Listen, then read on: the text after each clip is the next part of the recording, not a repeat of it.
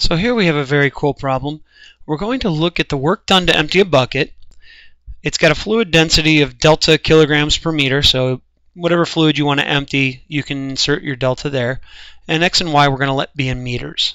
The bucket's going to be created by revolving the graph of y equals ln of x around the y-axis. And let's make some bounds on that. How about y equals 0 and y equals 2. That'll make an interesting looking bucket because what's going on, we have our xy axes here. Graph of ln of x looks like this and then we're not starting till 0. And then if we revolve that around the x-axis, so here's our line at y equals 2,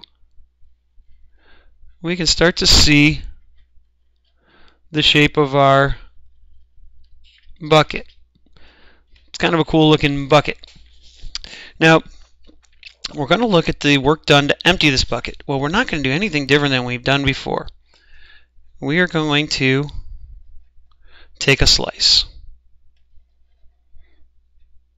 So right there is my ith slice.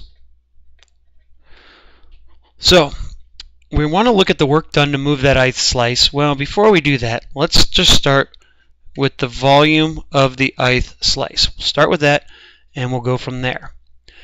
Well, that ith slice has the shape of a cylinder.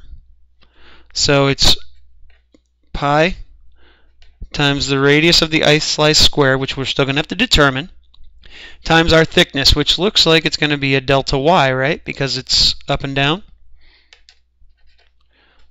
Now the radius of the ith slice is from here to here.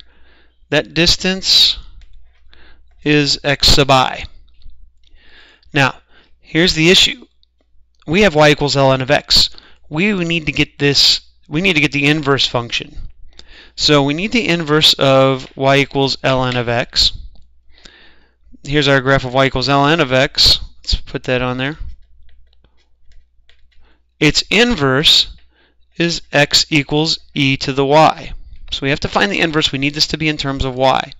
So the radius of the ith slice is x sub i, but in terms of y, it's e equals y to the i. Think of this as a way of translating between x and y. So we need the inverse. So when we go to look at, when we go to plug that in our volume for the ith slice, we get pi times the radius of the ith slice, which is e to the y sub i squared delta y. Just one quick step of simplification. Pi e to the 2y sub i delta y. Okay. Next, we want the force on the ith slice. So that force on the ith slice, well, we got the volume, Actually, before we do force, we have volume. This one, let's do mass first, which we'll be able to turn into a force pretty quickly there afterwards. But mass of the ith slice is the density times the volume. Again, I'm just using delta for the density for right now. You can put in whatever density you want. So delta pi e to the 2 y sub i delta y. Next, we can go ahead and find the force of the ith slice. That's going to, mm, now this is a mass, we need to multiply by gravity. Delta G V sub i. So delta G pi e to the 2 y sub i delta y. Okay, now we need to look at emptying this tank. So, this slice, let's use another color so you can see this a little bit better, needs to be moved to the top of the tank. So it needs to be moved from here to here. Well, we know from our axis to here is y sub i for that slice. So that makes this distance 2 minus y sub i. So that's going to be the distance we need to move to turn our force into the work on the ith slice. So we got delta g pi e to the 2y sub i, and then the distance it's getting moved that we saw is 2 minus y sub i delta y. Finally, let's go ahead and compute the work on this. I'm going to pull these all out. They're all constants. Delta g pi